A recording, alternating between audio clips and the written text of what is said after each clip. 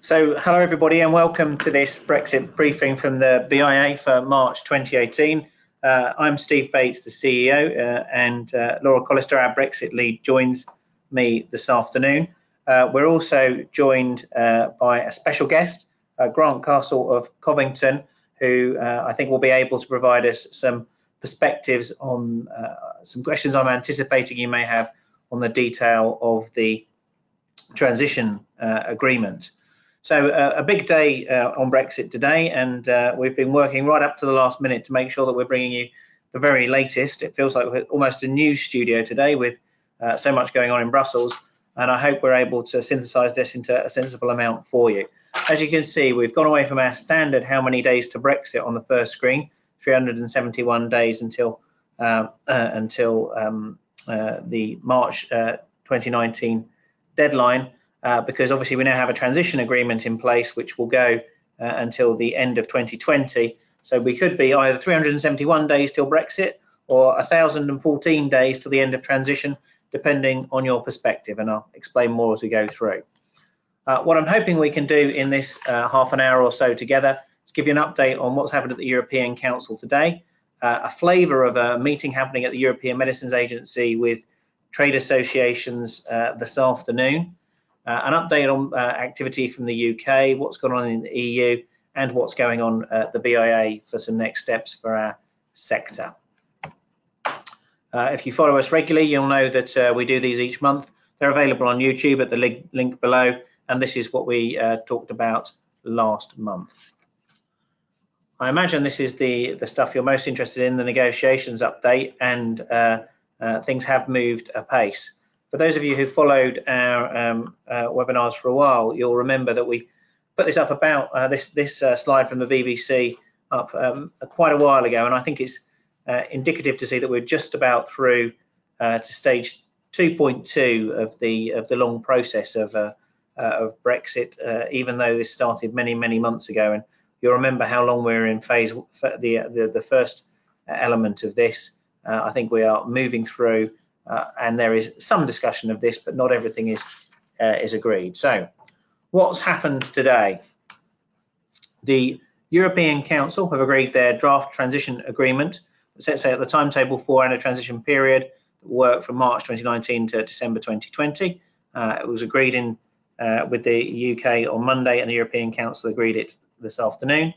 And they've also adopted guidelines on the framework for the post-Brexit relationship discussions, i.e., how stage two of the negotiations should be handled, and we've seen those published today.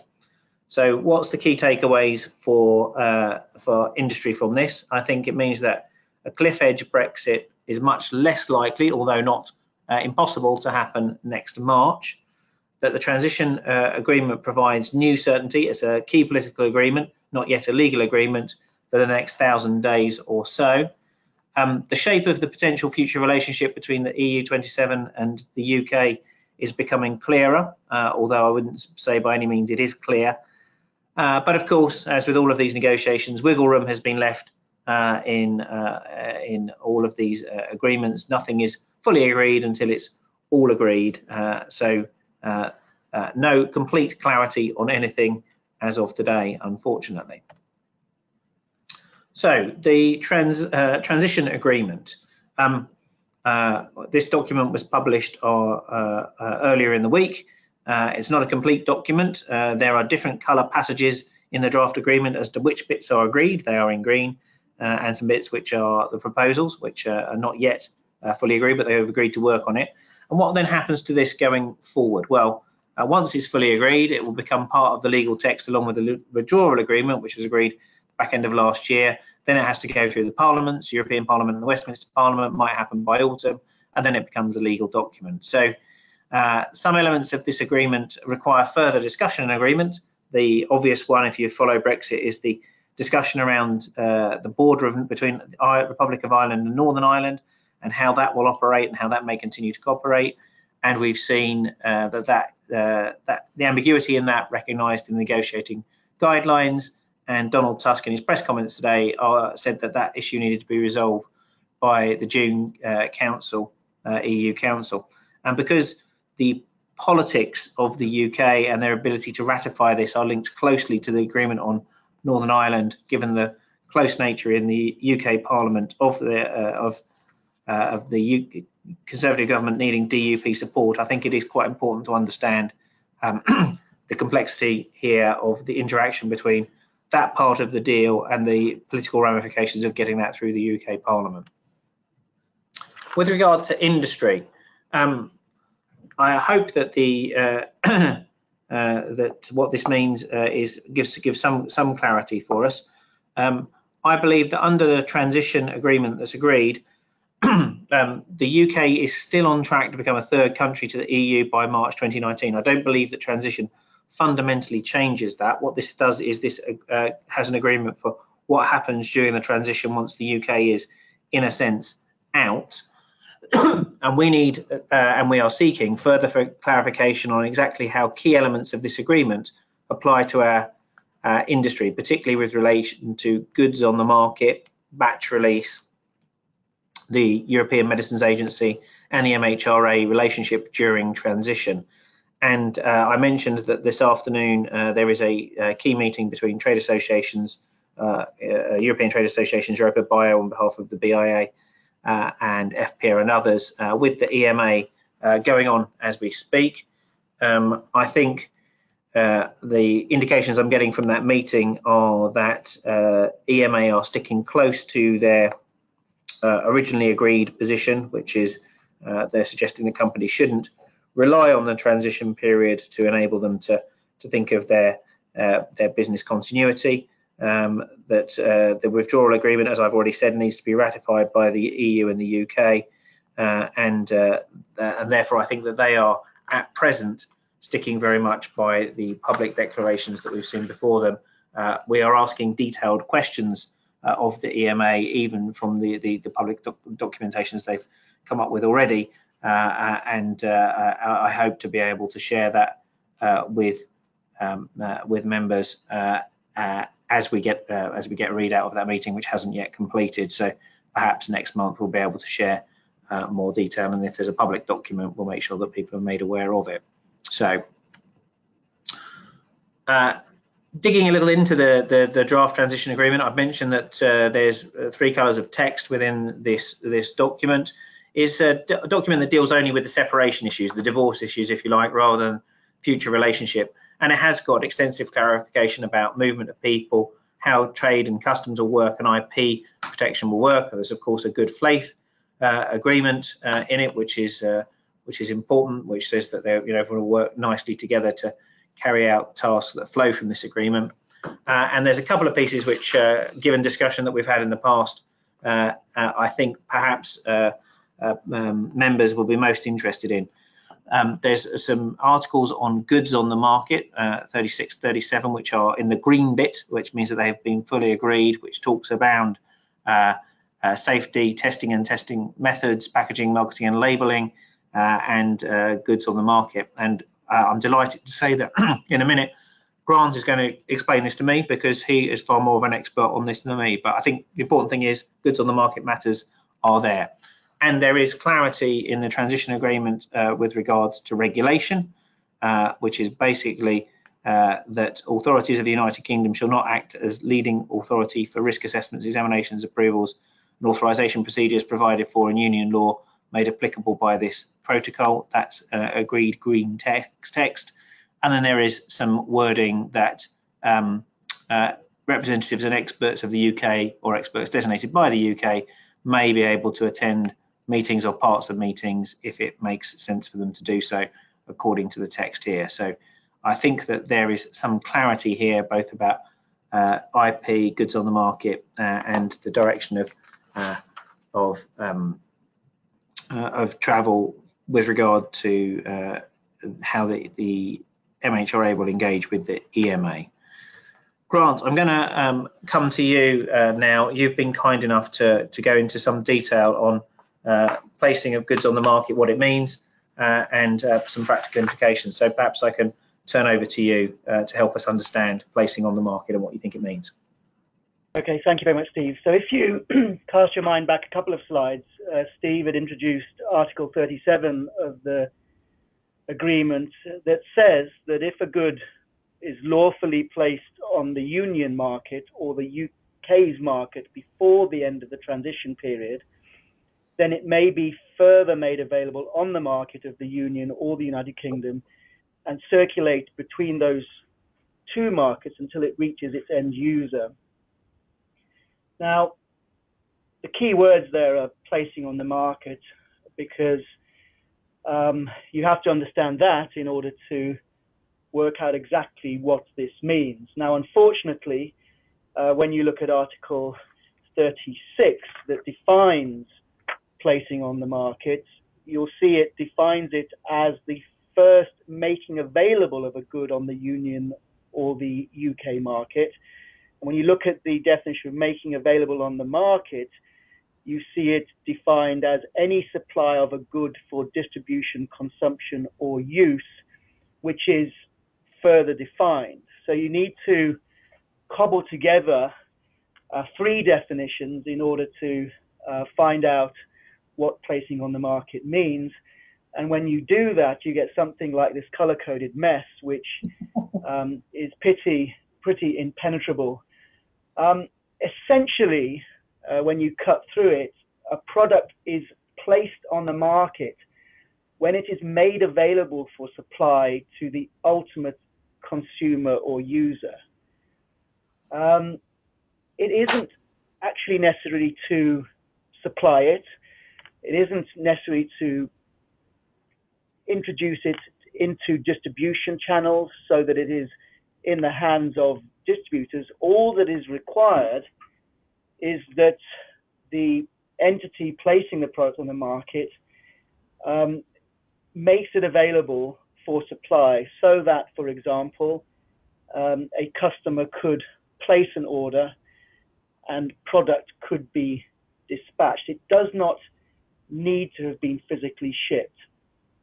Um, what does that mean um, in the pharmaceutical context? And I've also included a reference to medical devices on the next slide, please.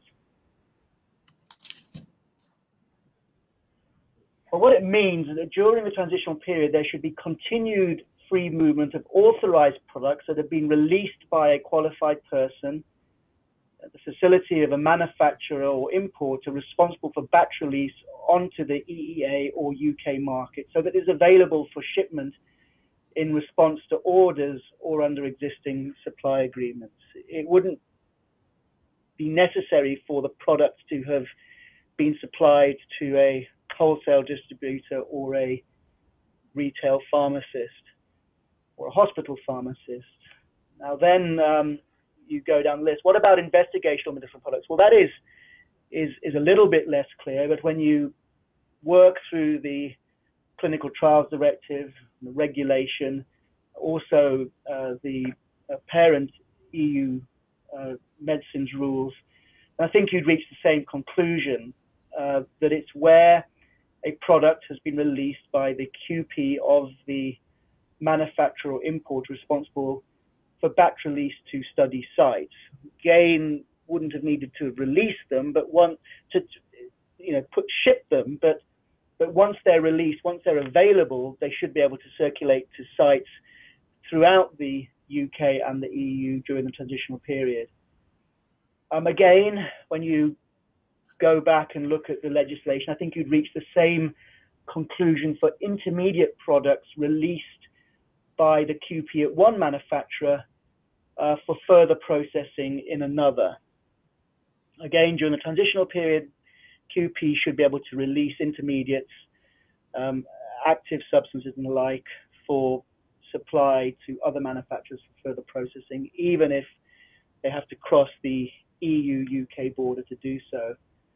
And I think you'd also reach the same conclusion for CE marked medical devices. Once they are available for supply, once they've been released by the uh, medical device manufacturer's quality uh, system, uh, so they're available to ship, they should be able to move freely within the UK and EU up to the end of the uh, transition transition period.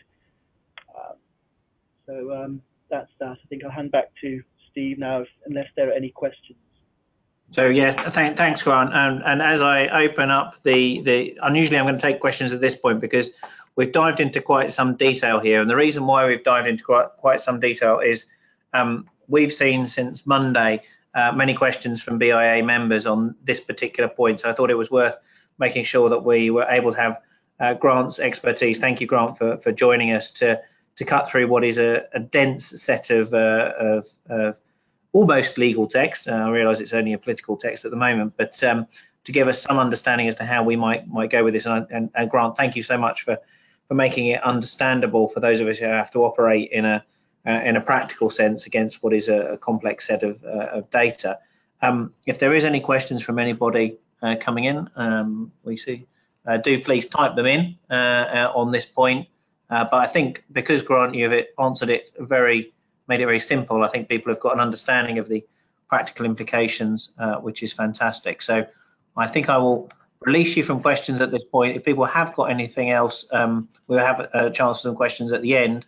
Uh, but thank you, uh, Grant. That's been really, really helpful, and it's fantastic to be able to provide uh, that level of uh, detail. And thank you to BIA members who've engaged in the discussion uh, as to what this means this week, which I think Grant has summarised fantastically uh, for us, uh, and I think will give us a good sense as to how we can operate going forward. So I'm going to turn now to uh, the other thing that was agreed today. So we've talked about the transition agreement, and this was uh, the European Council uh, talking about their negotiation guidelines, how they plan to negotiate the future arrangements between the EU and the the uh, and the and the UK. And what they've they've done today, as I said, they put out a document which says this is how we we plan to, to, to approach those negotiations.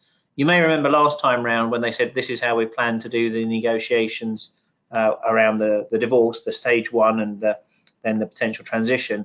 Uh, there was a question from the UK government about whether they would agree to it or not. Um, we've yet to see the UK government's response to this uh, and whether they will agree to negotiate along these guidelines. But last time they adopted them pretty quickly without, uh, despite the, the, the some Brexiteers arguing that this would be a big row about how it was done. So, um, assuming that the UK follows the position of agreeing to this, uh, I think uh, we should see this as uh, as a shape as to how the negotiations may may uh, may proceed for the, the coming months. And the UK government uh, mood music as of the middle of the week, as people came back from Brussels, was was that they were looking forward to getting on with it. So uh, it would be surprising, I think, to see them to, to, throw their hands up in horror at this at this process. But but who knows? Um, and I think from our perspective, the draft approach that's been suggested by the EU Council rules out a sector by sector approach, although it does make some specific mentions of, uh, of fisheries policy. So I think it's unlikely that we'll see uh, an early agreement with uh, a sector deal uh, uh, that would would work for, for our sector which in some respects is a is is, is a shame because I think we could neatly do a deal around um, uh, much of the, the, the work that's uh, that's evolved uh, in a, in our sector. Um, we, however, do want to make sure that uh, medicines regulation is an early priority to ensure public health and patient safety. And I suppose we can see that this is now rushing towards either agreement, uh, perhaps fantastically if it was to be done by June, but more realistically, I think uh, by October this year. And those are the sort of the, the next points in the negotiation that may well, well be there. Um, this is a very quick rip, uh, rip, out of the, the key bits of the guidelines adopted by the European Council and published uh, uh at lunchtime today. Um, I shan't look to go through all of it. Um, uh, I have a, a, take on this a, a, bit later that will come, but you can see that it's uh, uh, a readiness to work towards a free trade agreement. The aim be having zero tariffs in trading goods, quantity, few quantitative restrictions with appropriate accompanying rules of origin, customs cooperation, um, trying to make sure that there's a framework for voluntary regulatory cooperation, uh, access to public human markets, investments, and protection of intellectual property rights, etc. This is available in detail uh, on the web, um, and they are talking about uh, continuing cooperation in fields of research and innovation, making sure there is an unfair competitive advantage through uh, a race to the bottom from the for the UK. So that's the sort of shape of it. Um, and as I say, what does this mean for us? I, I think probably uh, our, our ask re- remains consistent as it has always been uh, that we want uh, aligned regulation, frictionless trade, ability for science and innovation to flourish, and access to talent are the things that we need to be able to, to focus on. We will continue to, to advocate for those uh, as we understand the opportunities to do so in the framework that is put in front of us. And I've had a crack just before starting this uh, this webinar. So, what do I think all this means? Um, I think this is Steve's uh, Steve's uh, summary of what's where have we got to today. So, uh, I think the EU have said that we've agreed you can leave on these terms and you can have a transition now. You've agreed to pay your bills, stick to our rules, and have no say.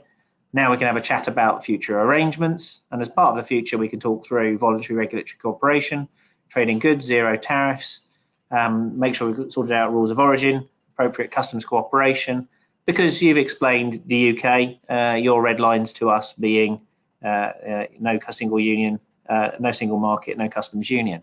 But by the way, the backstop option for us on the most politically difficult bit for you, Northern Ireland, is to stay in the customs union and the single market, and we need to get this sorted out by the summer.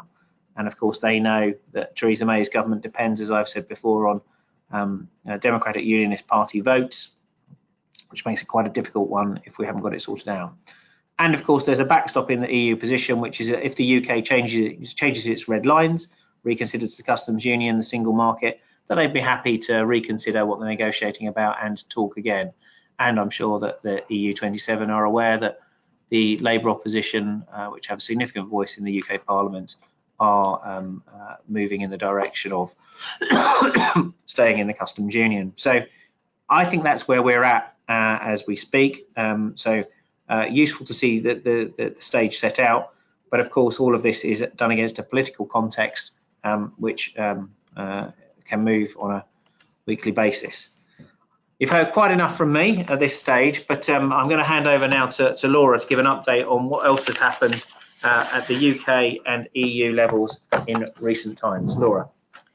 Um, so a quick UK and EU update. Um, firstly, um, might have forgotten now is that the Prime Minister gave another speech. Um, this had a key thing in for us of that the UK would seek to remain part of EU agencies, and she specifically stated the European Medicines Agency. She did then talk about it being associate membership. Um, but I think we're going to focus on the bit around remaining part of the EU agencies going forward and how we do that. She did accept that we need to abide by the rules and make a financial contribution. We also looked about the need for one series of approvals in one country um, and looked at sort of some of the legal um, parts that will be needed um, for this.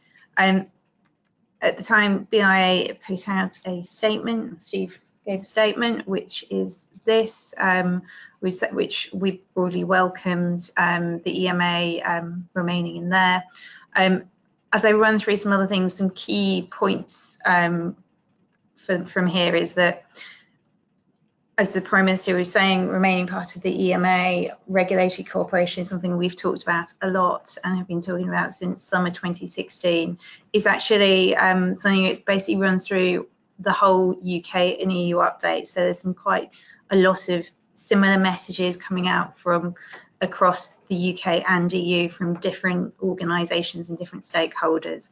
So John Ashworth, the Shadow Health Secretary, said shortly after the Prime Minister's speech that um, the Labour Party would also look for close cooperation between the UK and the EU in medicines regulation as it's in the interest of patients both in the UK and the EU.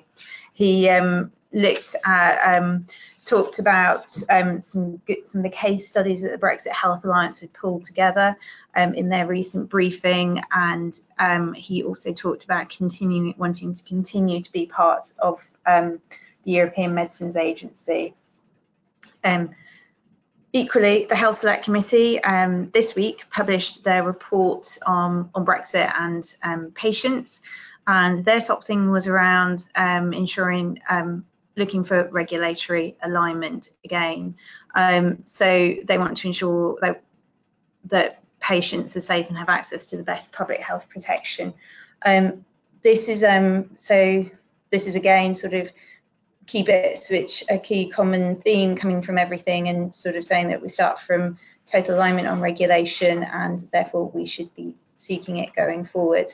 The Science and Technology Committee recently had their Brexit Science and Innovation Summit. Um, they talked about continuation um, in terms of Horizon 2020 and follow up with um, Framework Programme 9. Um, in terms of the EU, um, a number of patient groups, both from the EU, UK and the EU, came together and wrote to David Davis and Barnier um, looking at four key areas, including close cooperation on medicines regulation to ensure safety and access to new treatments. They also talked about the need for frictionless trade um, and clinical trials and a smooth transition. Um, equally, um, also important, given that um, the withdrawal agreement and implementation agreement need to pass through the European Parliament, is a res resolution that was um, strongly supported in the Parliament and included um, a line around um, the need for continued and safe access for medicine to medicines for patient and medical devices for patients. So sort of right across all the different spectrums and from different stakeholders and organisations, there are some common themes coming through, um, which are in those areas that BIA has been advocating since probably about a month after the referendum result. Yeah, since members came together, and I think Laura, it's testament to your hard work to see uh, some of the messaging that we've been working on for a very long period of time uh, reflected in um, uh, in in outcomes that you're seeing both at the UK level, so the government, the Parliament, the opposition, all lined up around uh, our issues in a way that's helpful and supportive, and seeing that as a result of work with European colleagues uh, amongst the EU 27, and I hope members can see the the, the excellent job that Laura's done in working that up and uh, making sure that we've been able to um, to, to get our messages across effectively and then uh, out to, to a community. So I'm going to finish with, uh, before I take any more questions, um, uh, an update from the bit on the BIA and what we're doing. So uh, a month's time, we'll do another webinar uh, and we are organising a, a, a lead network meeting for uh, people in companies who lead on the Brexit issue for BIA with AB and ABPI members. 2nd of May in the morning, we're going to do an event um, to have a discussion. We'll hopefully get an update from government, have a discussion on uh, things face to face. So if you're interested, um, put that one in your diary, and uh, it's on the BIA uh, website if you want to book on there. as I say, a month away for our next webinar, so continuing to discuss this going forward. Um, what are we working on uh, on your behalf uh, in the next month? I think we'll we'll continue to look at future trade policy. Um, there is discussion at the UK government level on free trade agreements, and um, the transition agreement enables the UK to get on and discuss those with uh, countries around the world. So uh, I think we'll be uh, looking for expert input and engagement with those as the UK government starts to think about those. Um, there's been some talk about whether mutual recognition agreements or might be a way of, um, of providing some early clarity in elements of the uh, discussion between the UK and the EU. Uh, I don't think that's uh, landed yet as being the way forward, but I think uh, we'll continue to explore the potential for those uh, in the next period of time. Uh, migration and skills will continue to make the case for the sector as to the, the need for access to talent as an absolutely crucial piece for uh, for member companies, uh, and we'll engage with them, the Home Office, on that, and we'll continue to uh, work on the detail of regulation and what it means, both at the point of Brexit and during the transition period, and what people need to do to make make things work. Um, we're lucky to have uh, a meeting timetable with ministers uh, next Wednesday, where I'll be able to update and get any uh, any any any further information, further clarity on on this week's events or where the UK government wants to go. We'll try and make sure that we have uh, even more detail along the lines that we've discussed today around um, uh, goods on the market, other areas, uh, if the EMA or the MHRA are going to uh, be more clear about how they're going to operate in the period until March, the period from March until the end of the transition or in the future period. Um, the BIA board uh, will take a look at the work that we're doing uh, in April, and that may lead to some new prioritisation. But I think that they're broadly I think board members are broadly happy with the, the direction of travel, but it will be useful to have a look at it uh, sort of uh, almost two years in since we started this work. And I've already mentioned uh, the Brexit Lead Network as an important meeting in the first week of May. So where have we got to? And I hope we've done this in half an hour for you. Uh, pretty big day today for Brexit. The transition period to December 2020 broadly agreed, and the framework for stage two uh, of the discussions proposed. We'll continue to help members understand what this means for this for their businesses to the best of our ability, despite being clear that not all of this is entirely clear. And we're continuing to argue for and will seek mechanisms to talk about regulatory cooperation, alignment, frictionless trade, movement of talent, and R&D collaboration and funding. And we'll continue to make the case that medicines regulation needs to be prioritised for phase two for the benefit of patients and public health. Of course, as you all know, in all of these agreements, nothing is agreed until everything is agreed. I think at that point, I'm going to open it up to see if there are any further questions from anybody on uh, anything at all um, uh, on these things. And I have got some detailed questions. So, uh, Grant, I'm going to see if you're able to come back in at this point, uh, and do chip in if you feel able to uh, add a comment on any of these. Are, are you with us, Grant? Yes, I'm here. Great. So, uh, does the definition also apply to the upcoming medical device regulations? I'm unclear as to which which definition we're talking about, but I'm guessing that that's the one you shared with us, Grant. Does it does it cover upcoming medical device regulations? Yes, I mean it covers it covers it. I mean the concept of placing on the market is a concept that is prevalent throughout all EU laws governing goods. So whether it's um, electrical equipment, uh, medical devices, toys, uh, medicines, you, you have this concept of placing on the market. And the concept of placing on the market will uh, continue to exist and apply under the medical devices regulation and the IVD regulation when they take effect in May 2020 and May 2022 respectively the thing is, I suppose that that um, would have to do the just just work it out. For the IVD regulation, that's likely to come into effect after the end of the transition period, but it will be relevant to the medical devices regulation from May 2020. Thank you. I think this is going to be another one for you, Grant, but um, bear with me. Does the practical implication of the interpretation on QP batch release, section 36, and placing on the market, section 37, mean that there will be no requirement for UK imports from EU member states already QP released to be recontrolled by a QP until the 1st of January 2021, e.g. at the end of the transition. Presume that this is a reciprocal agreement and that there's no recontrol will be reapplied to UK exports released by a UK QP. Views? That that's right, I think. So um, when you look at Article 37, it says that during the transitional period, uh, any good that's lawfully placed on the union market or the UK's market before the end of the transitional period, and that would be QP release in either the EEA uh, or the UK, may be further made available on the market of the union or the UK.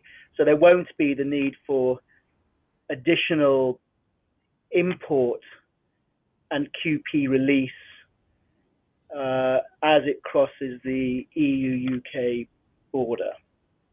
Um, obviously, that that's without prejudice to um, you know customs procedures, tariffs, and taxes and things. But from a pure drug regulatory perspective, that's correct. Until the end of the transition period, there won't be a need to import and re-release products cross border. Thank you. I mean, I, think as with all these things, we are working on the basis of that which we can read. Um, this is, uh, you know, this is uh, hot off the press in terms of uh, of, uh, of, uh, of, new stuff, and and uh, and what I've asked Grant to do today is try and help us all with a, from from an understanding and a perspective of of the best knowledge that we've got at, at this time. And, and, I appreciate you for try, trying to do this, Grant. I realise that. Um, and uh, you know, this is a this isn't something where we are basing ourselves on, um, you know, 50 years of case law and citing four precedents. Yeah, and, and it, it's thank you very much for putting in place lawyerly style caveats that I should have put in place myself. Unusual for it to be me doing that. a couple, a couple more here regarding what uh, Grant said about QPs. Does it mean that UK firms wanting to market products in the EU 27 after Brexit won't need to set up a QP in an EU country during the transition period. Yeah, I mean that um, subject to all the caveats that Steve's already given. That's that's correct. Um, there won't need to be a re-release by a QP as, for example, products that has been released in the UK enters the EU. I mean, okay. obviously, subject to what happens and what is negotiated um, for the post-transition phase, it's you know there is a possibility and perhaps a likelihood that there will need to be QP release after the end of the transition period. I suppose there is possibility we might have a mutual recognition agreement whereby batch release would be recognized, but we don't know that yet. Yeah, no, and I think you can see this is one of those areas where potentially some some technical MRAs may make sense. And of course, at the same time as we're doing this webinar, there's a meeting at the EMA where the EMA are answering questions from trade associations, I imagine, on some of these points. So apologies, we've sort of we're uh, you know, you, you may also be getting information that comes from that meeting going forward.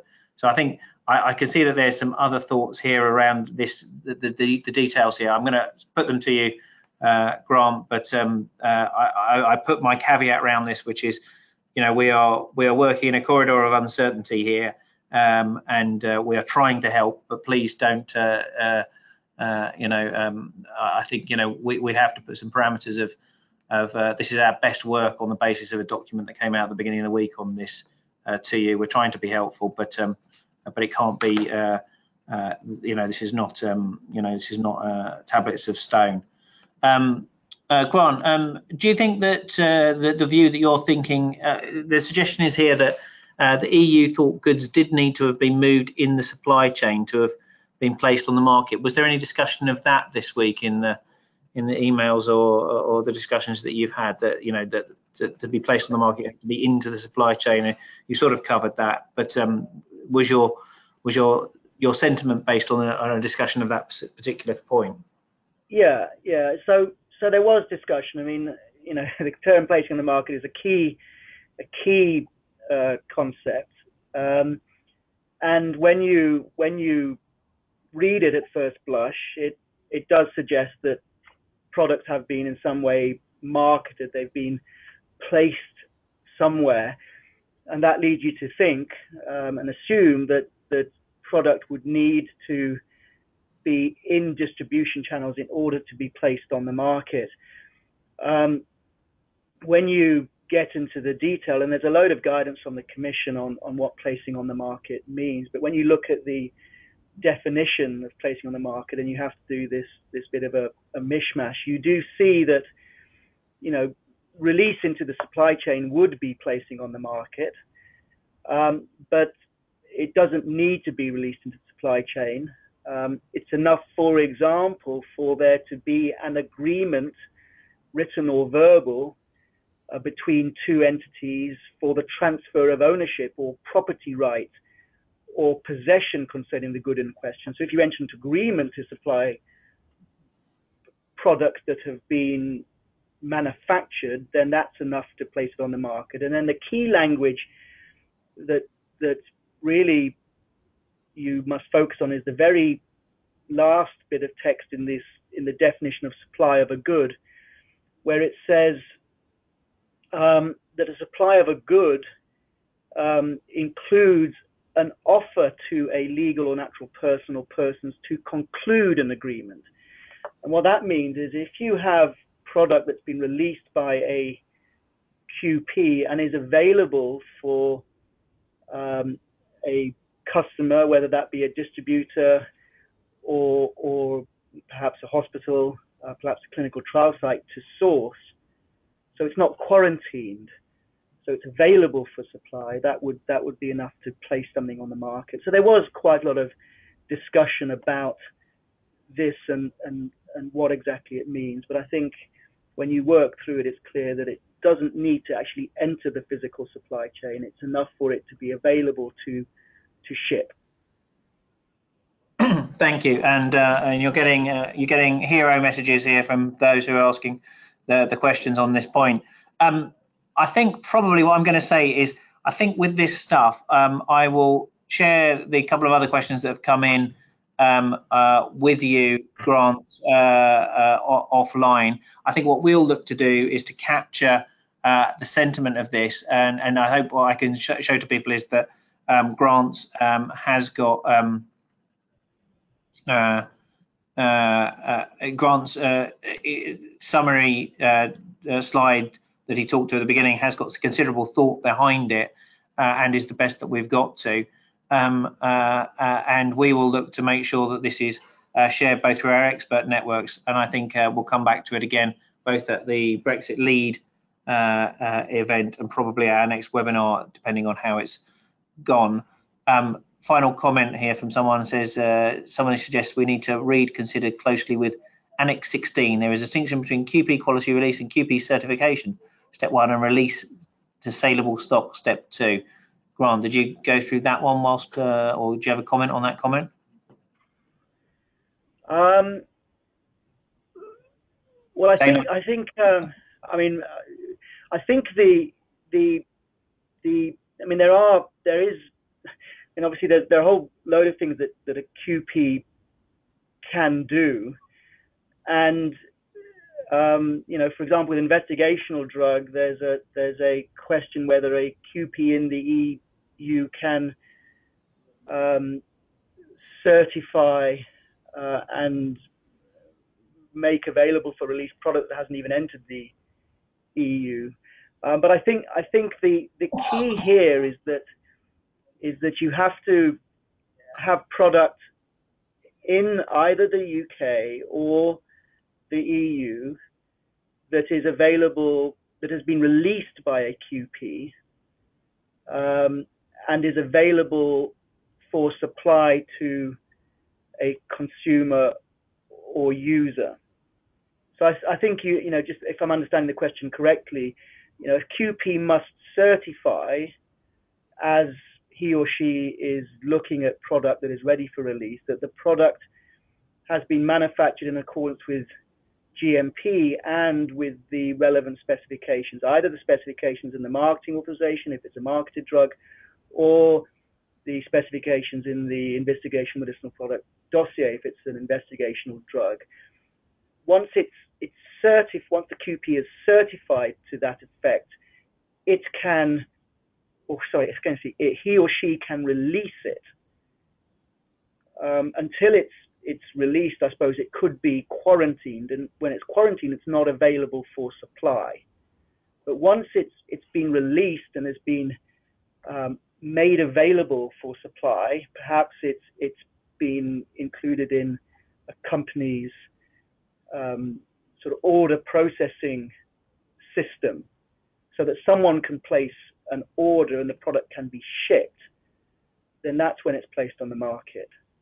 I don't know whether that's helpful. I think that's helpful. I think I think I get the I get the so my my basic view on this grant is that if the QP is happy for it to go and doesn't feel that they've got to do anything more for it to to, to go out the door, it can go to. It doesn't have to have gone out the door, but if you know other parts of the organisation can now uh, can now get it going, then that's the point at which it's able to be goods on the market, placed on the market, and we're there. I think we're not yeah. going to we're not going to torture this one any further because uh, uh I, I, I think we've we're, we're slightly over time, but I, I want to to thank uh, thank you, Grant, particularly for agreeing to join us at short notice. Laura, for all the hard work that you've done. Uh, uh, bumper attendance today uh, on the on the webinar. I hope you found it useful. Feedback is always welcome uh, for us. If I can just finish with the the standard um, requests that uh, if you've enjoyed this, you'll probably enjoy the BIA MHRA conference planned for Thursday, the 5th of July at Euston Square uh, it's possible to register on the BIA website, and no doubt we'll do more uh, of this uh, and uh, have uh, significant updates and engagement with the MHRA there. Um, I've already highlighted some of the upcoming BIA events, but you may also be interested in the BIA annual lecture and evening with David Cooksey at the Crick in London on May the 3rd, the CEO Investor Forum, 23rd, 24th of May, Women in Biotech Networking Evening, and the summer reception also coming up soon. If you've not joined us, uh, please consider it. Uh, membership is the lifeblood uh, of the BIA, and uh, Jane would love to hear from you if you've found this useful. Uh, as I say, the next webinar briefing is Friday, the 20th of April. Uh, we look forward to updating you further on this exciting development. Then I hope you all have a good weekend, and uh, this will be available on YouTube uh, for anybody who's not been able to catch it now, but will find it useful in the coming weeks. Many thanks. Goodbye.